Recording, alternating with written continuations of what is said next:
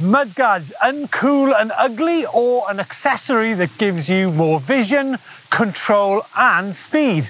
Now, many two-wheel disciplines have been using mudguards or fenders for decades, but roadies and mountain bikers? Nah, way too uncool. Mudguards come in a whole range of shapes, sizes and materials. Mudhugger, Zefal, RRP, Crud, Defender all do proper shaped guards starting from around £15, whereas you can get basic flat pack guards with zip ties for about a fiver. Front mudguards can be all types. They can be plastic, carbon, short, medium and long, basic or complex, bolt-on or simply zip tie, from a few quid to over a hundred pounds. Now most forks are the same size and shape and pretty much one size fits all for the zip tie versions at least, although you can get bolt-ons such as the Defender, which I mentioned earlier. Now rear mudguards are very much the same as front mudguards, however because of the different suspension designs it becomes a bit more complex and requiring custom guards for each bike. So a very simple question, how much mud do they actually guard you from? Today's three runs, one with mudguard front and back, one with the mudguard front and a final run with no protection whatsoever. Now the first run that we're going to be doing today is with the mudguard up front and one on the back. Now this is the first time I have ever ridden a mountain bike with a mudguard on the back so hopefully this will give us the full protection. It just happens that Jay and Bruce from Mudhugger who make these rear mudguards for the Levo which I'm riding uh, are getting fitted. Uh, Bruce, what's all the fuss about? Why, why do we need a hairdryer and, and loads of tape? Um, with the rear mud guards, we always supply heli tape, helicopter tape. Um, it's like very thick frame tape. And you see Jail wrap it around the stays where the mudguard actually sits, and that protects your paint and your frame finish. So in the summer, you can, hey, can, I, can I stop you? It looks like this frame could have done with a bit of protection before. well, yeah, it's a bit late for your frame, but you know, most frames will be uh, pristine. So, so what happens then, guys? Okay, so uh, to find out where you're going to put the mudguard, just literally sit it on the tyre, give it about 10 mil clearance, any closer when it gets a bit noisy, certainly when it gets clagged up, and then mark up on your frame where you want your tape to go. It's longer than the footer there so that you've got overlap.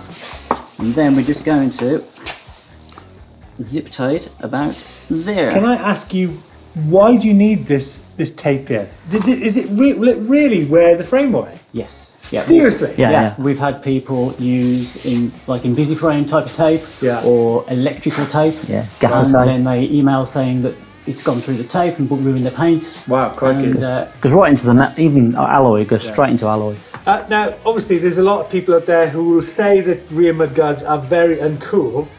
Why does it need to be so long? Basically, the, the spray comes off the tyre at every imaginable angle. So you've got to draw an imaginary line from okay. the back of your tyre. I get it, I get it. That's yeah. the tip. If it's anything back here, it's going to go straight into your rucksack. It's pointless having one, right? Yeah, absolutely. Well, the proof of the pudding is in the eating, although we're not going to be eating dirt hopefully today. So uh, let's get this fitted and out on the hill.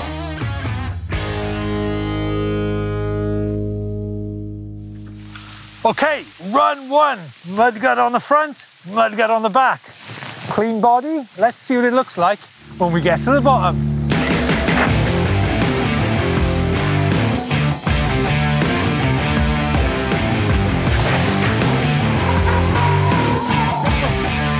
I think time for a halfway check. How am I looking? So goggles off. I'm gonna do the second half of the run without goggles.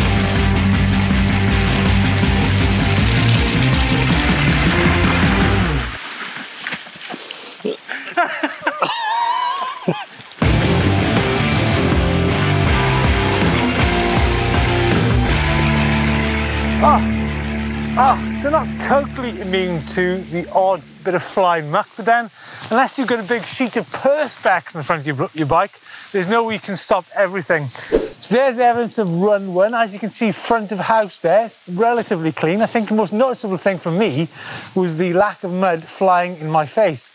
Out back, well, apart from that little uh, bit of a skirmish I had coming down the bank, um, ignore that patch there it's uh, pretty dry. And you can certainly feel that when you're coming down the hill that your bum is definitely warmer than you would be riding with no mudguard on the back. Now I mentioned earlier that we'd be doing three runs. First run with mudguard front and back, then the second run with the mudguard just on the front. However, what we decided to do, because of the fading light, we're now going to go for mudguard off in the fading light and see how that pans out. Run two, here we go.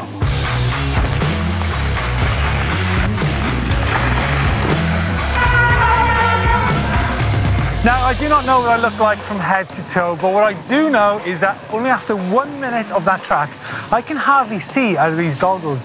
So I think for me, the mudguard is definitely a benefit. One of the other things I can feel uh, compared to the first one with the mudguard, I've actually got a lot of grit in my mouth, and that can't be a very good thing because if you think about all the oil and all the grit and all the bacteria which are on those pedals, that can't be good for you. So Brandon, how am I looking from head to toe? Um, didn't look didn't look too dissimilar to the first one, right up front. Yeah, it's, it's more muddy. Okay, and what about the back?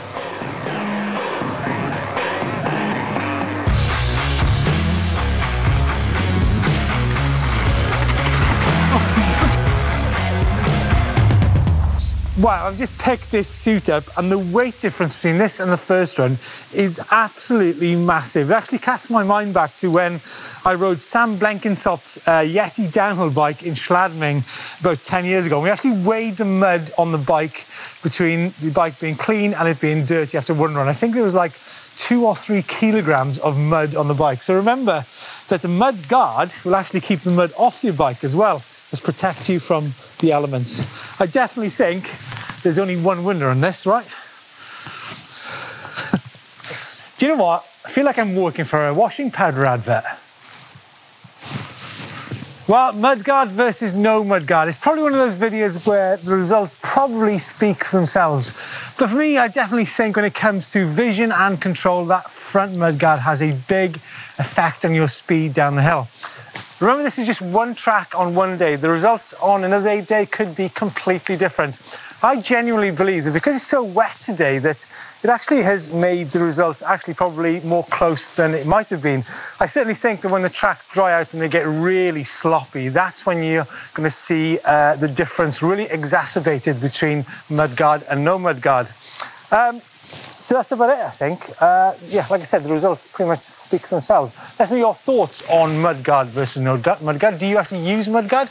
Do you actually use a rear mudguard? For me, that was the big, um, big eye opener on this ride. You definitely feel a warmer bum when you're going through those through those pedals. And like I said, a lot of people ride in the dark, so it doesn't actually matter what the bike looks like. It's all about practicality, not about uh, fashion.